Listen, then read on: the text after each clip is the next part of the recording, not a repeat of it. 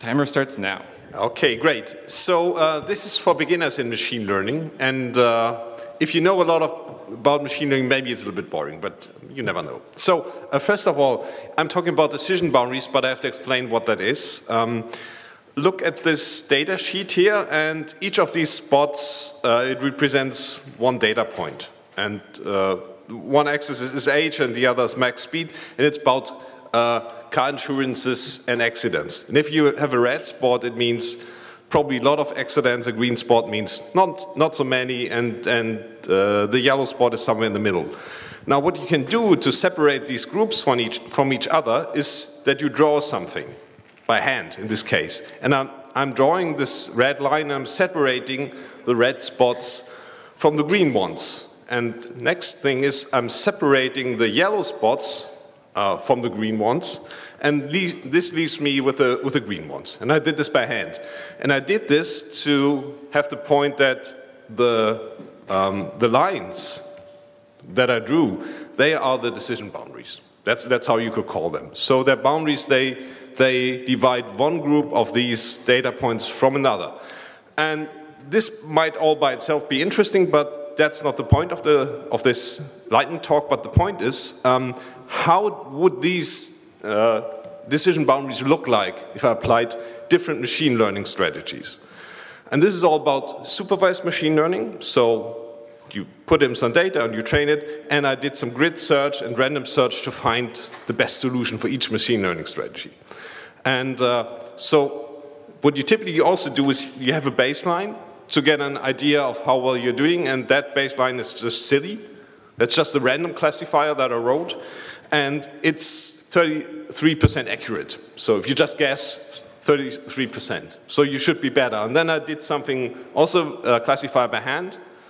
And this is just a few coded rules, and it might look like this, and this is around 43%. Uh, so now, different machine learning strategies. So just to give you an idea how they might look like if they did the same thing. And decision trees, if they did their best, it might look like this. So a little bit like the hand-coded, but more blocks.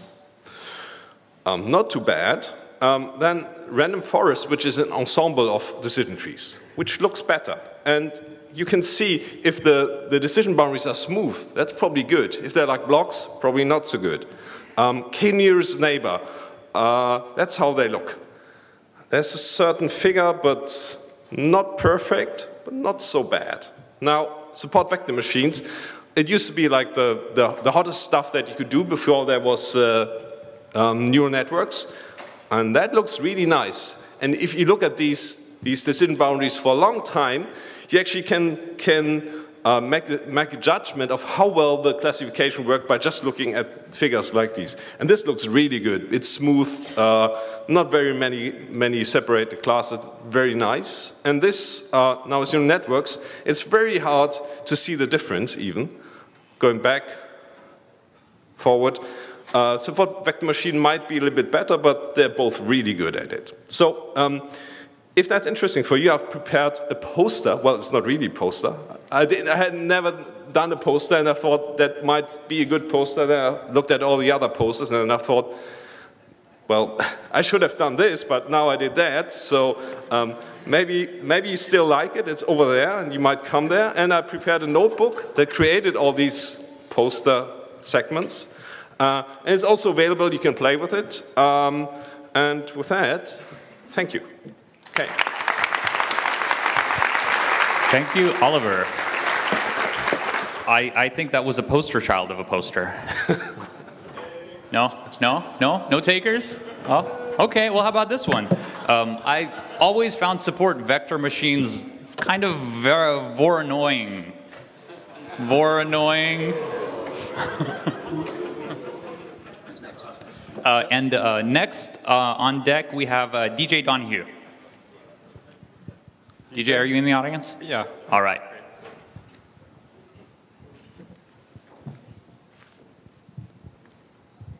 And setting up is Maarten Breddels.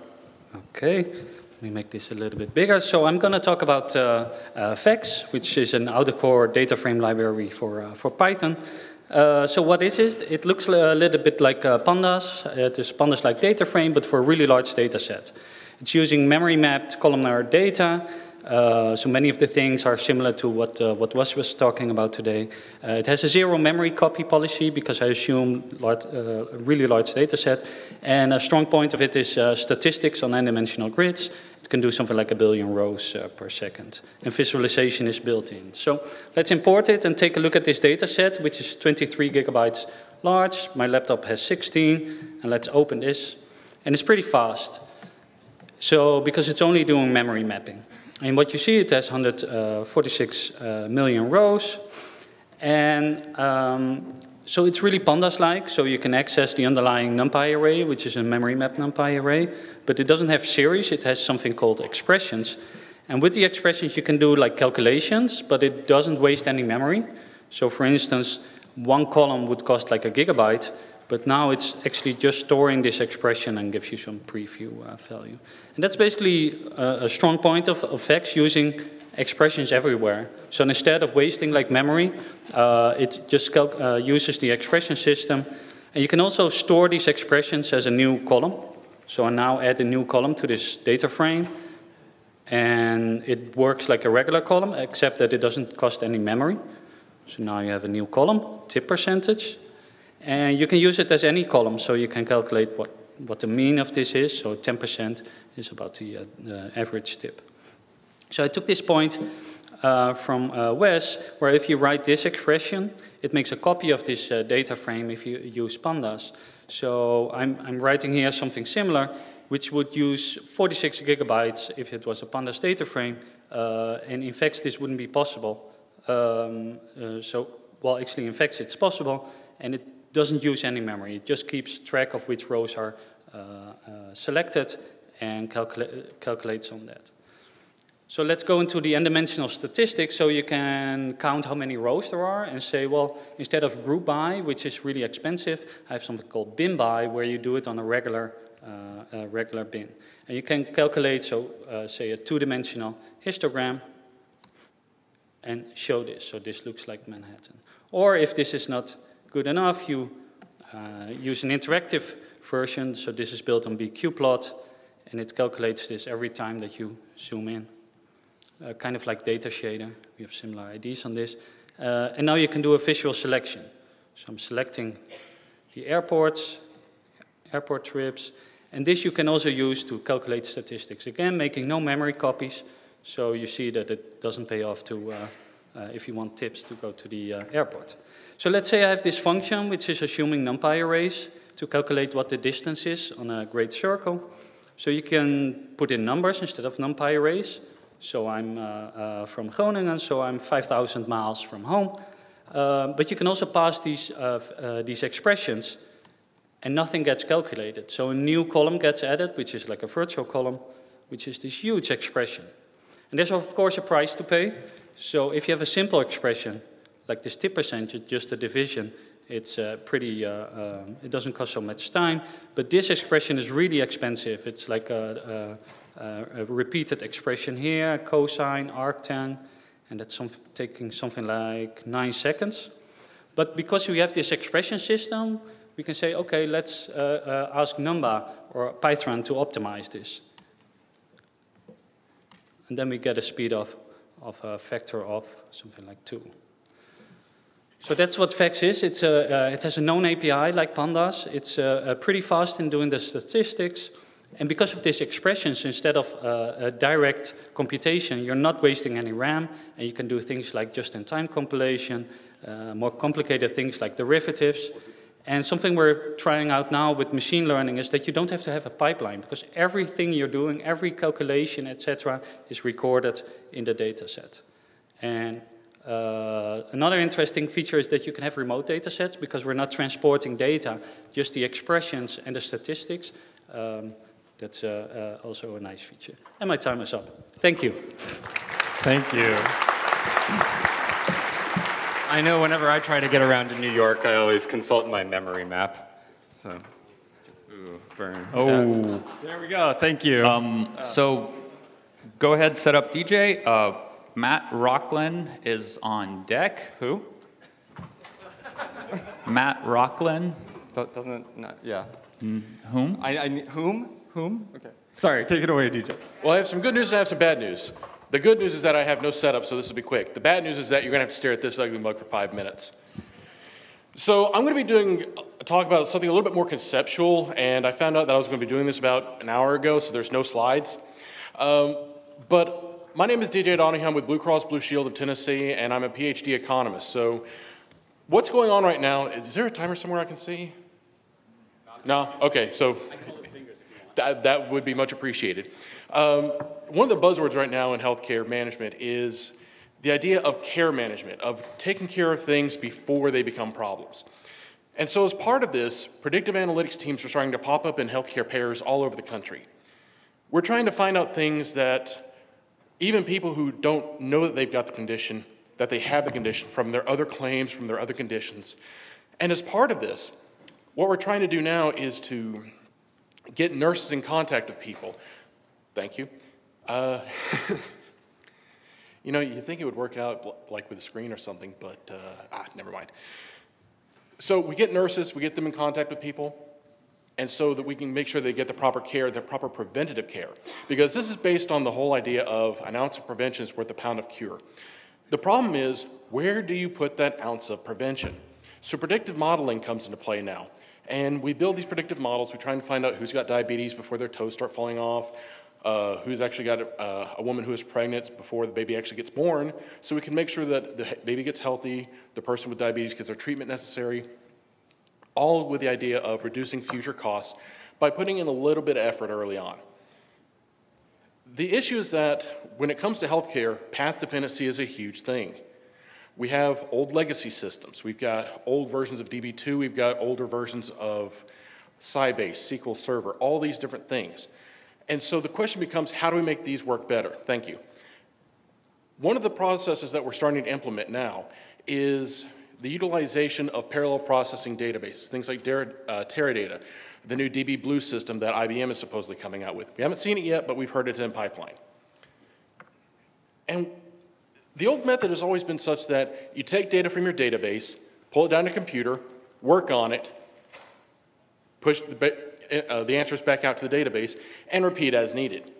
The problem is that this version of ETL, this pulling down data, takes a lot of time, especially with older legacy data systems. So, what do we do now? Well, Blue Cross Blue Shield of Tennessee is working with a company called Fuzzy Logix, not Fuzzy Logic, which is a method, but a company Fuzzy Logix.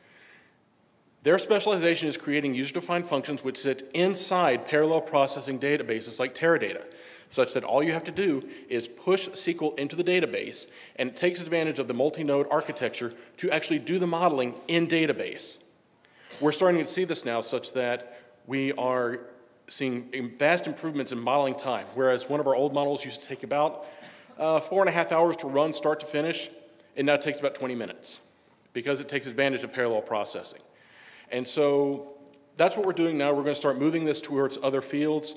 I can't show you any actual data or give you any real numbers because, well, HIPAA. Healthcare, it's a thing.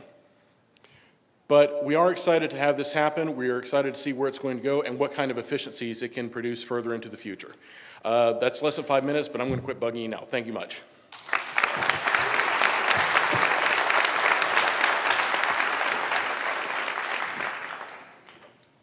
Thanks a lot, DJ. Up next is Matt Rocklin, and on deck is Hannah. We are in the room a minute ago, hopefully. She might have just stepped up. Okay. Um, hopefully she'll come back uh, before that. So Alternatively, Nathan. alternatively, Nathan. She's here. She's there. Okay, great. Perfectly. All right, take it away, Matt. I, I would, but it's not detecting my monitor, unfortunately. This Max. Yeah. Do, do you want me to take your laptop away? No.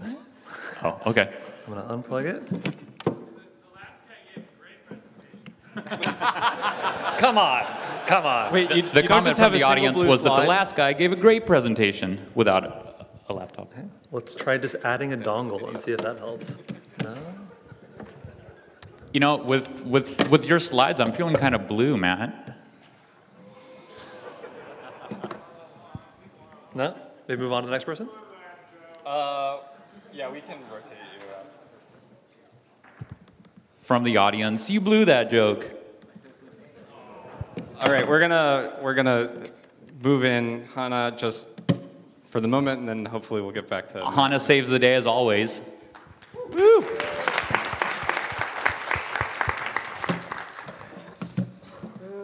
I'm sure you would have wanted to see that talk. Um, maybe not. I have an HD, I have a VGA and. Yo. Which adapter do I use for my lovely Mac? Uh, yeah. So where? What do we have here? Oh, this is not it. No? That's not the one. Oh no, that's the USB. Here, isn't this it? Oh, That's mine. Oh, that's But it's yours? VGA. That's VGA. Sorry. The problem is, I need slides because mine's a visualization thing. Do we have? Some pictures? Thunderbolt? Yeah. I would. Do you have a white? there's No multiple. Dan Allan saves the day. Thank you. No, this is VGA. We need. Uh, That's mine. HDMI. HDMI, right? When you want to hear that. Dan saves the day. Uh, we actually no. Macs we are need so just easy. a million dollars, Dan. Just a million dollars. That's all we need. Also a warning if you have a Mac. Well, we really need our two two podiums, but you know. Who can afford it? But we're cheap. Yeah. Who can afford it? Yeah, we're. A podium? Great. We got five. Uh, okay. I have five minutes? Not Great. Yay! Okay. Raise your hand if you've had to, if you've seen the MNIST. Sorry. Raise your hand. How many of you have seen the MNIST example today? Okay. Those don't know, MNIST is the database, it's the numbers. It's the digitized images of numbers that's used for everyone to teach machine learning. So I'm going to go through how I explain linear classification parameters, parameter shifting using MNIST. So, step one, import all the things. Done. Yeah. Step two, right? We're gonna tr create a training, create a test. In this case, I use the raw gzip files instead of the sklearn built in because I'm a masochist. Don't. If you have to, though, this is how you do it. Read in everything, use this, go back down to C, dump them into our dictionaries. More of this kind of man grab the binaries. Okay, so we're going to do a Boolean classifier. In this case, we're going to do the simplest linear, linear classifier. Everything is a 0 or 1. Actually, a negative 1 and a 1. There's a boundary. Okay, first things first is I'm going to take all my MNIST, put everything in a 0 to 1 scale. and I'm going to I'm going to do my training label. In this case, I'm going to be very simple here because it's a Boolean classifier. Are you a zero? Are you not a zero? Everything that is a zero is going to be one. Everything that's not a zero is going to be negative one. And so I want my classifier to just find zeros. Then I use sklearn because I'm lazy. Gonna run it, gonna predict it, gonna make this big. Sorry, this is Rise, and I love it, but it's cranky. And this is all on GitHub if you actually want it. Then I check that, every, that what my algorithm is doing, because this is for teaching. So image on the right is the MNIST. Image um, with a 0 to 1 is my training data, one of my training samples. Um, everything on the blue scale is in the one direction, everything in the red scale is on the negative scale, and the black and white image is the decision boundary. That's the coefficient. So what you're going to do is you do a, to find out if something's a classification, you multiply the image, the data, uh, with the coefficients. And if your net is positive, that's a zero. If your net is negative, it's not a zero. That's how the linear classification works. And this is all in beautiful matplotlib. And then I want to actually show, change the alpha, what happens. So I write map, bunch of matplotlib, write a little bit more code, and I get this. And so this is a decision histogram. The histogram, the orange histogram is uh, not a zero, the blue histogram is a zero. The, everything in the blue shade is, that's what our algorithm is going to predict it's a, a 1. Everything in the other, in the yellow is what algorithm is not going to predict. And so we're going to use SK um, live to show, hey, when I adjust the alpha, this is what happens to the decision boundary. I'm going to, it keeps shifting, the, it keeps shifting where the classifier is, so now I get more false positives and more false negatives. And then, because I want this to be tweetable, I save it to a GIF. Okay? And I have no battery left, so perfect. Thank you. Thank you. Thank you, Hannah. Thank you, Hannah. Le leave it to a core matplotlib developer to show us the most Pythonic of all plots, the histogram. Histogram. Up next, we have Matt Rocklin. No, okay, okay, yeah, we can go with we can, we, we can go with Nathan. Nathan, you ready? Uh, sorry to throw you under the plot, I guess. Um, oh. Uh, and then uh, up next on deck will be Dan. I see you. Yeah, there you are.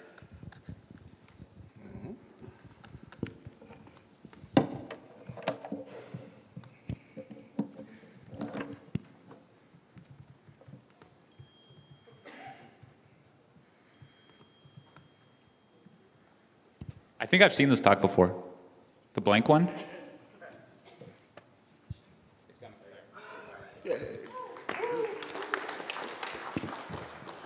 Okay, so uh, I'm going to be talking about unyt, which is a new library that's based on what was yt.units uh, that we've now extracted from YT and made available to the community.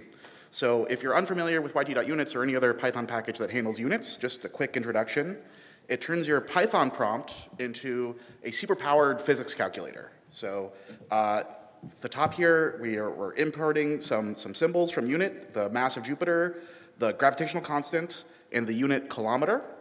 And uh, we, plug, we feed in some data, which I got from Wikipedia, for the semi-major axes of the orbits of the Galilean moons, Io, Europa, Ganymede, and Callisto.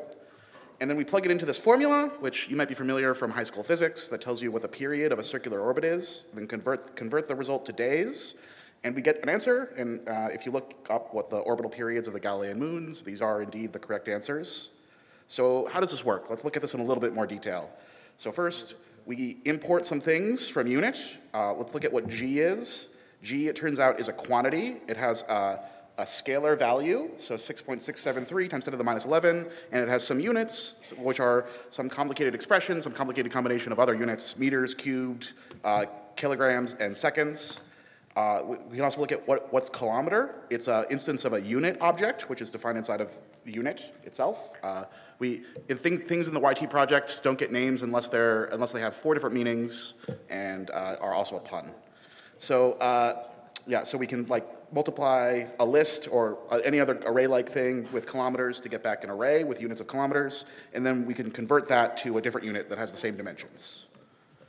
Um, another cool thing about units is, uh, about unyt is that we track the dimensions. So for example, uh, actually here, backing up a little bit, let's talk about uh, how this, this big complicated formula works. So you, you see we, we plug in uh, some, some mathematical expression that has some powers and some square roots, and we get back so, an answer that is in some sort of messy units, but we can look at the dimensions of those units and we know that this has dimensions of time. So let's convert that to days, and we get an answer. It's great, yay. So unyt has minimal dependencies, and it's written in pure Python. Um, it only depends on NumPy and SymPy. That's a lie. Uh, on Python 2.7, it also depends on uh, the LRU cache backport, but who cares about Python 2.7? Um, unyt, in particular, it does not depend on YT at all. So if you want to use YT.units, if you've ever used it in the past and you think it's really cool, uh, you can now use it completely extracted from YT, and it's, it's its own package, and we are, we're hopeful that the rest of the community will, will, will pick it up. Uh, you might be familiar with both Pint and AstroPy.units as well as some other packages. Uh, there was a talk in SciPy 2013 from Trevor Bekolay who did a big review of all these packages. Why not use one of the existing ones? Well, well first, uh, we developed all these packages sort of at the same time, so there's a, there's a sort of an example of convergent evolution. Um, and then also, unyt is nice in a, in a number of ways. First, uh, it's a much smaller code base. You can see it's got about 5,000 lines of code, and including tests, it's only about 3,000 lines of code. Uh, it also has much higher test coverage. It turns out that uh, uh, you know, as you might expect, if you uh, test, increased tev- test coverage correlates with lower amounts of bugs and, and issues. It's also faster than unit, AstroPy, or Pint, uh, or sorry, than AstroPy.units or Pint. In this, in this uh, figure, I'm showing timings for various operations, so like equal equal, A over B, multiplication, uh, subtraction, and addition. And I'm showing for input arrays that have elements of size 3, 10 to the 3, and 10 to the 6, and that's coded by, uh, by the, the shading of the, each of those bars. So for small inputs, uh, the, the, overhead, or the, the time to complete this operation over the time it took NumPy to do that operation, so without tracking any units at all. And this is a log scale, so you can see that for a lot of these operations, unyt is, is like tens of times fast, is, is multiple, is uh, two or three or four, five times faster than some of the other packages. Um, and even for, for example, for Pint, for, eight, for comparison operators, I think this is a bug in Pint, even for really large arrays, uh, there's still substantial overhead for just tracking the unit metadata. Um, if you want to install unyt, just use it with pip or conda, or conda, where it's up on Conda Forge. The documentation is available on Read the Docs. Our code is on GitHub, and uh, we've submitted a, a paper to Joss uh, describing unyt and presenting some of these performance benchmarks that I showed in the previous slide. So if you want to know more details, look at the Joss paper.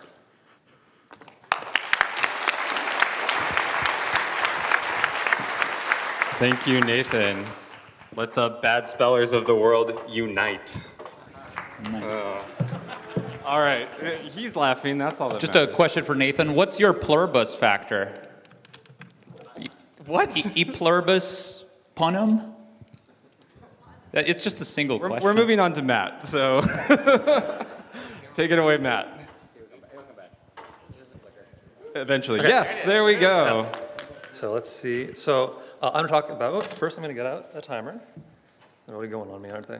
Yeah. So I'm going to talk about how to turn your supercomputer into an interactive workstation. So I mostly work on Dask. Uh, Dask runs on like the cloud. It runs on Hadoop clusters very recently. It also runs on supercomputers. Many people here have access to some institutional cluster at their university, at their job, at their secret covert government lab. Uh, and so usually, so I have a key, I'm going to log into my supercomputer here.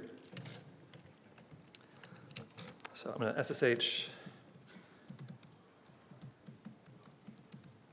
So, and I'm going to type in this. So this is what people might do at home. And then usually you might do something like MPI run, or you might queue sub a bunch of jobs, and you'll go home for the day, and you'll come back when your run is done. Instead, run a new command, the Jupyter Lab command. Uh, it's a little bit different though, because I'm on a different remote machine, so I don't want a browser. And I also am going to access it uh, from a different, different address than it's used to. So great, I'm now running Jupyter, so now I can log into that remotely and play around a little bit. Uh, however, I can't talk in, I can't just type in here, you know, supercomputer. Um, so instead, I'm going to do another trick. I'm going to uh, SSH uh, tunnel. This is going to give me, I'm going to map the port 8888 on Cheyenne 2, and another port 8787, which will be used by Dask in a moment. Yeah, it doesn't really matter that you see it. The, the fun things will come in a moment. So if you do these things, this is now allowing, uh, I'm going to log in, now allowing my local machine to access those ports on the supercomputer uh, happily. So now I can go to, instead of can go to localhost, 8080, 8888. Now I have Jupyter Lab. Jupyter Lab, not on my local machine, but I have Jupyter Lab actually on the cluster. So I can, you know, open up a notebook and I can do things like one plus one if I wanted to. Uh, or I can open up a terminal. Uh, and I have, you know, this is, this is not my laptop, this is the supercomputer. I can do df-h, and you can see in there there's like, you know, petabyte scale hard drives. Um, so, also fun things you can do. So I'm using Jupyter Lab here, not the normal Jupyter Notebook. This is especially valuable because I uh, like having a terminal. I like having a file browser. I can go and look at my space. I can take this notebook here on my laptop's desktop. Oops. And I can click and drag it onto the supercomputer. So what, what was previously a pain now becomes more pleasant. Okay. So one of the things I want to do, I want to play with Dask, and I'm going to launch a Dask cluster here. and we're going to ask for 20 machines. Well, 19 machines maybe. And what that has done is that has asked for 20 nodes on that cluster to be running Dask. It'll take a moment for those nodes to show up. Let's go watch for them here. And again, I would normally look for this by logging into a terminal and typing qstat-u mrocklin. And we can see that they are queued up. And now I'm really nervous because someone else might be using this machine. And we're just going to sort of wait here nervously.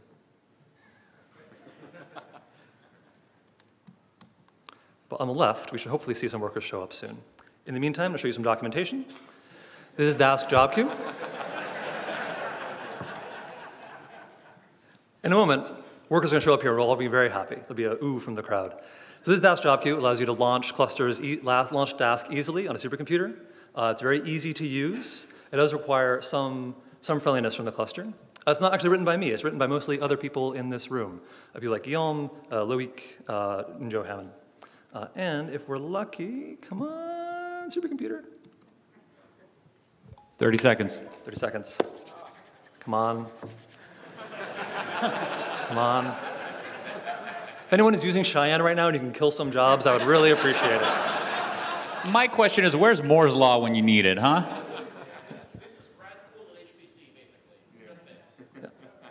But we can then do things like allocate a terabyte array, and we can sum that array in a couple seconds, and it's very fun. Uh, there's a nice video, if you go to Dask Job Queue, it actually goes through in 30 minutes, walking through the entire process of building configuration, using Dask Job Queue, setting things up, and I'm done. And thank you, Matt. Hashtag my local host is a supercomputer. And by supercomputer, you mean Raspberry Pi, right? From the audience. From the, all right, thanks, Matt. Uh, up next, we have Dan Allan, and then after Dan, is it uh, Gina. Gina. All right, thanks. Great.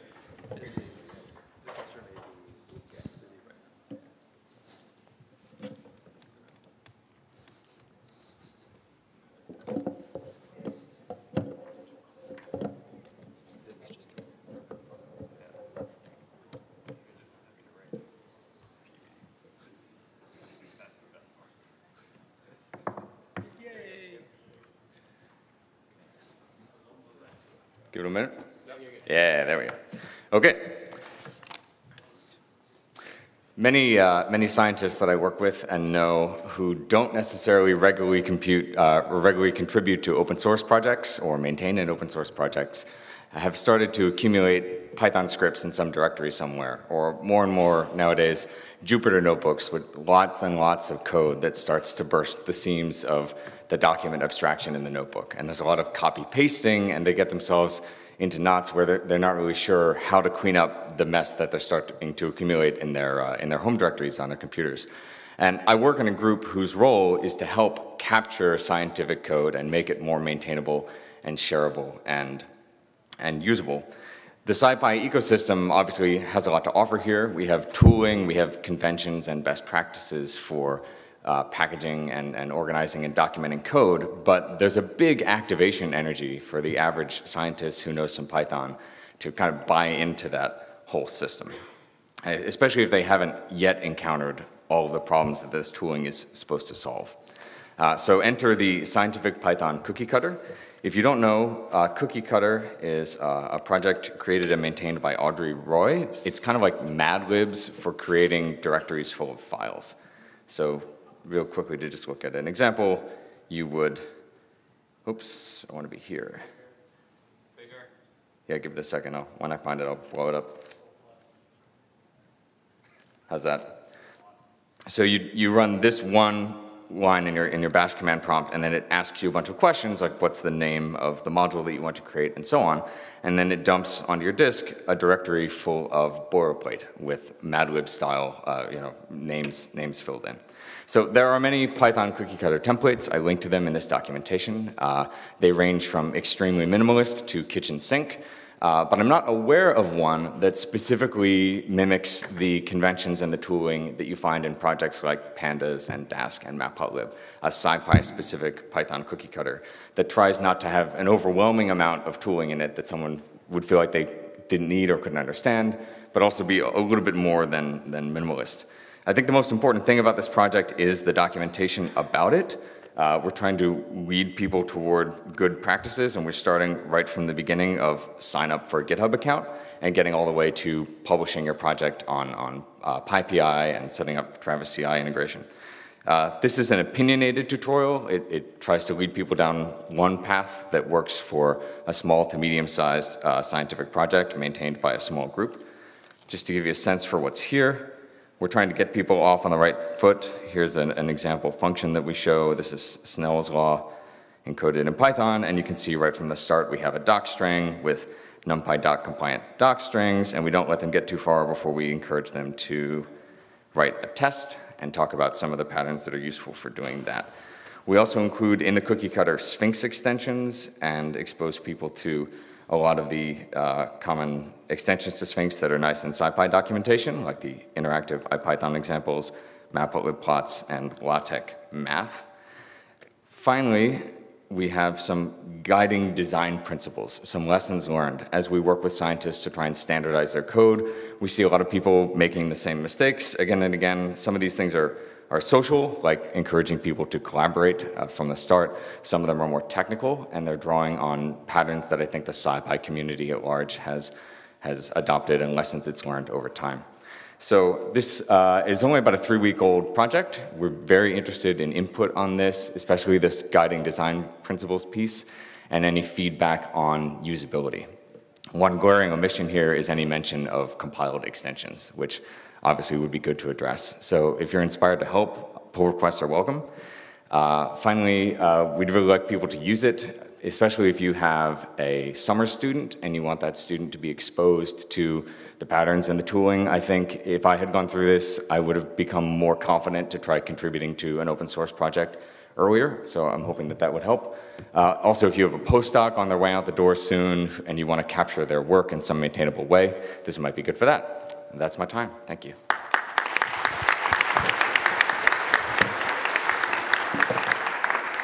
Thank you, Dan. Uh, but you lost me at Bash. I didn't understand yeah, what that yeah, was about. We'll get there.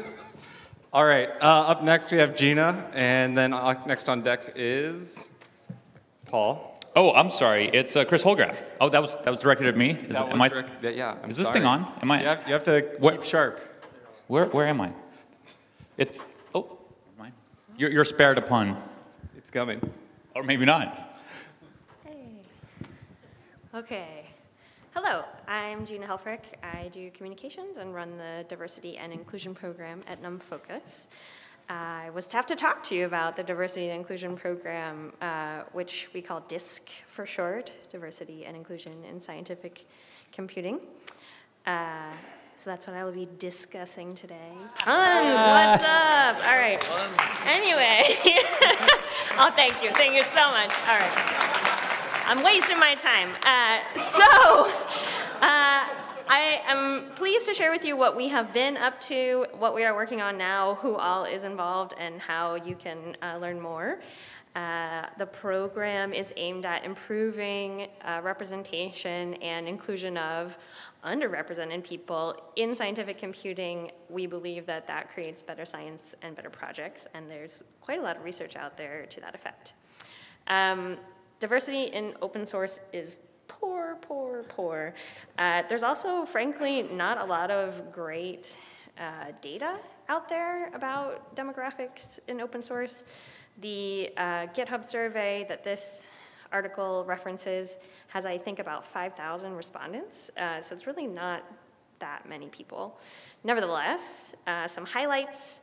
It's about 95% male, 1% uh, of respondents identify as trans, and uh, women are more likely than men to encounter language or content that makes them feel unwelcome. So we have work to do for sure.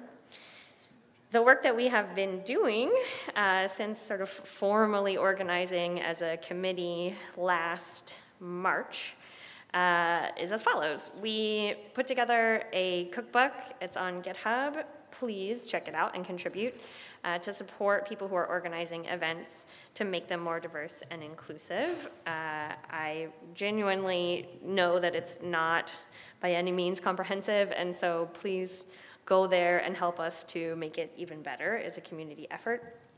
Uh, we developed a post-event survey.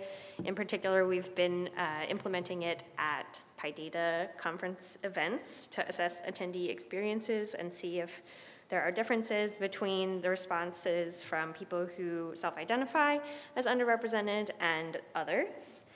Uh, we've been collecting that info since the spring of last year. And we hosted an unconference in November, um, co-hosted at PyData New York uh, for the DISC program. We had about 40 participants, and they put together, we put together, uh, eight projects, which you can read about and check out also on GitHub. And I also have a blog series on the NumFocus site highlighting each project, so I encourage you to look there. Uh, and if you are real nerdy about the details of what we've been up to, you can read all our meeting minutes online. um, so here's what we're doing now. Uh, we are focused on improving the UX and usability of the Discover Cookbook um, because we have told people it exists, but I know from the insights that it still doesn't seem to be getting that many hits. Um, so I think that finding some ways to make it easier to use will really help on that score. So we're working on turning it into more of a website as opposed to just a repo and um, some downloadable checklists, et cetera. Uh, we have a subcommittee that's working on assessment, sort of very broadly construed, uh, and doing some deep diving on best practices for how to collect diversity demographics, uh, because there are a number of ethical issues around that um, as well. And then community engagement through collaborative events. We have a subcommittee working on events that can help us to pull in new people who may be currently up, underrepresented in the community, um, including, for example, uh, an event in the works with Dev Color and the New York Times, maybe some worldwide sprints. We've been very inspired by some of the things happening in the community lately. This is the current DISC committee. So I work with these folks. We meet on a regular basis, and everyone works on one or more subcommittees. So feel free to reach out. I know some of us are here, including Julie and Madikin.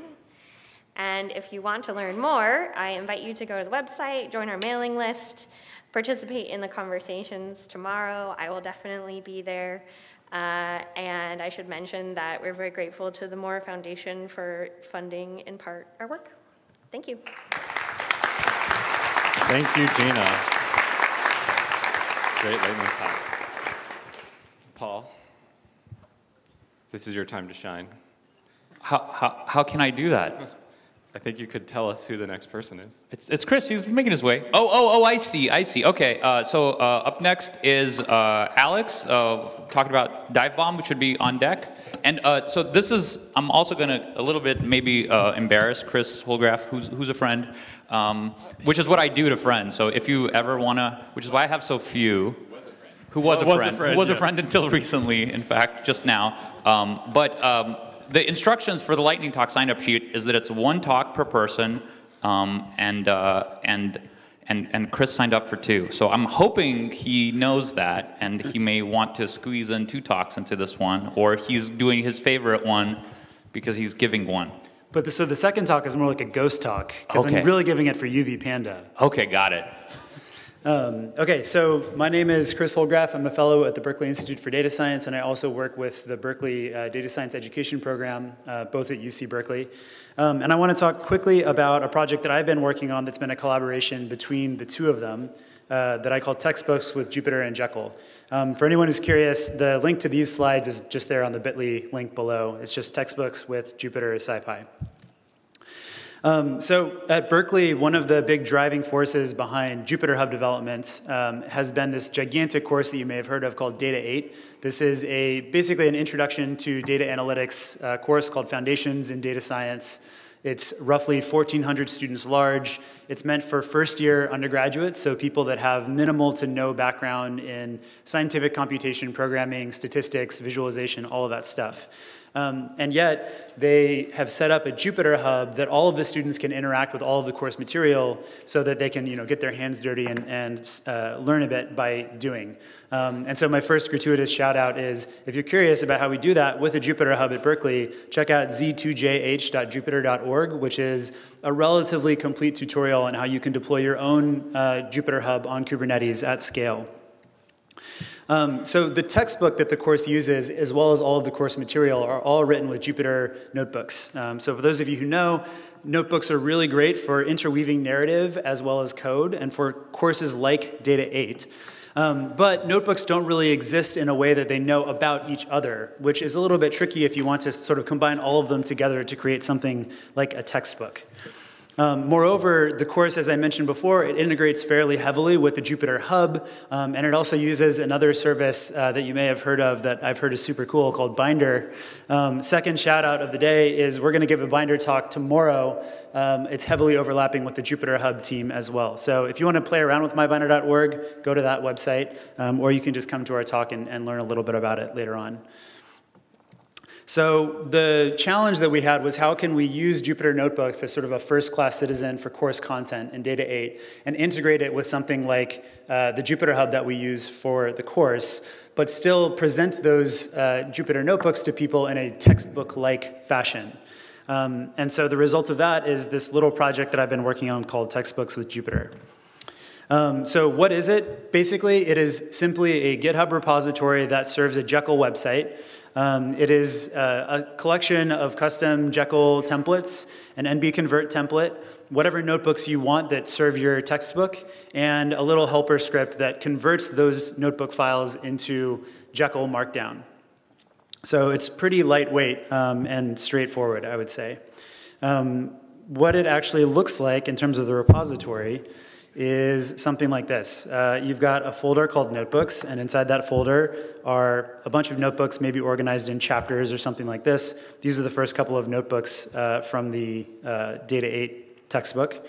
Um, and a folder called Scripts, and that folder just contains some helper scripts to convert them into Jekyll Markdown. And really, that's about it. Um, when you build that and push it to GitHub, which for those of you who don't know, can serve Jekyll websites uh, for free, then you get something like this. So th these are content that lives in that collection of Jupyter notebooks and markdown files. You get like a nice sidebar here on the left. You can scroll through it. You can jump forwards and backwards. There's nifty little things like uh, you know copying code. So a lot of little tiny things that uh, maybe individually aren't super complicated, but when you package it all in this way, is really useful for something like hosting uh, a textbook. Uh, if you are curious, um, you can also see the Data 8 textbook, which is a bit more of like a fully complete kind of thing here. Um, and this really, it, it, runs through the gamut of lots of different things that you could do. Um, you can, uh, you know, you can embed all of the, uh, let's see if I can randomly pick some good ones here. You can embed the outputs of all of the Jupyter notebooks and it sort of collects it all and displays it in a nice way. Um, there are also a couple, and I'm not gonna try to hunt for it because I don't know which, but you can do things like embed uh, interactive HTML within the notebook and then it will get rendered on your Jekyll website so that you can give people Folium maps to play with and stuff like that. So if you're curious about this, uh, check out that repository that I sent before. It's designed to be forkable and very quickly modifiable so you can deploy your own textbook. Um, and if you have any questions, I'd love to chat with you further. Thanks. Thank you, Chris. Thanks for throwing the book at us. Uh, the thing about Jupyter projects is that there are so many of them. All right. we got one I like it from the crowd, so. Thanks, Gil. It was worth it. That's all we need. We run on fumes here. Uh, so for our last talk of the day, uh, I believe it's Alex, right? Yes. Yep. All right. Alex is up, and then we'll have to wait another 23 hours. Okay, so I'm Alex Nunes. I'm from the Ocean Tracking Network up north in uh, Halifax in Canada. And I'm here to talk to you about a uh, project I'm working on and a package uh, that animals move throughout the ocean, but they also go down and they come back up, and they go down again and they come back up. So what happens is researchers go out and they tag these animals. So a bunch of them ethically wrestle these things to the ground and glue the tags onto their heads. Um, so, and these things track both satellite and these depth and temperature and all these different variables, which is great. We also have deep divers and these wonderful sharks who generally go down and try to stay down. So unfortunately, can't really look at these things yet because the algorithm and the package I'm looking for looks more at the surfacing animals, but my hope is to work into non-surfacing animals. And basically what we do is we break down the dive data, this continuous dive data into segments of a single dive at a time. And each of those singles dives is broken down into components. And then we've kind of looked into actually classifying these dives and trying to assign them to some sort of animal behavior. Initially, what we looked at was actually comparing it to human classification and figuring out if we could just programmatically do it. That did not work. So what we did is I actually used a agglomerate of clustering to cluster the dives. So the dives actually got broken down into descent, bottom, ascent, and surface times and periods, break it down into ascent velocities, any sort of skew, left or right, or descent velocity skew, to create this kind of a, just a general profile, and the depth in there is in meters, by the way. And what happens is we can take those attributes and actually cluster them. And what we found is it's actually really great at clustering. So things like this cluster five, we actually get a lot of surface behavior because we're only going down to about seven meters.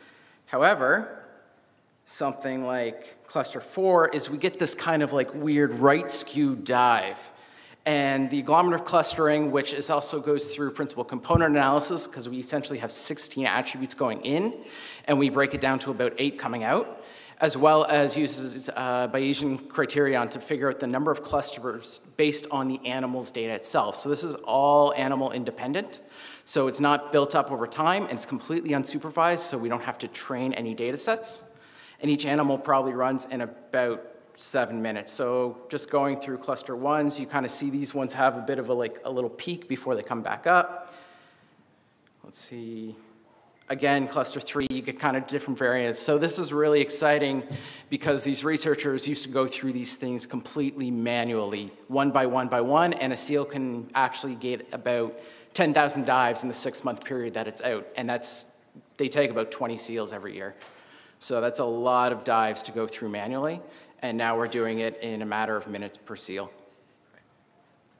That's it.